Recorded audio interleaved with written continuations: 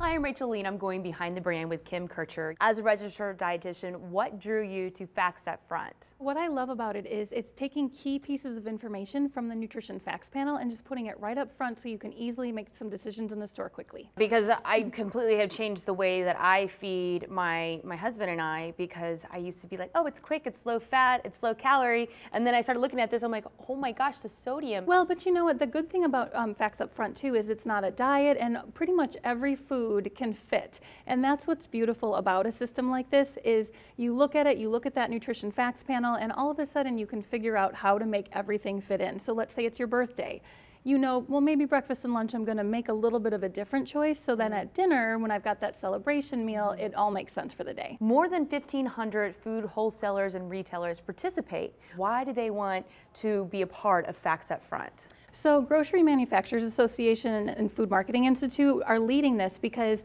no matter where you shop and what brands you like, this is a voluntary system that's available to make that quick decision making a little bit simpler for people. If people want more information, where can they go? Factsupfront.org. And you can also visit behindthebrandtv.com.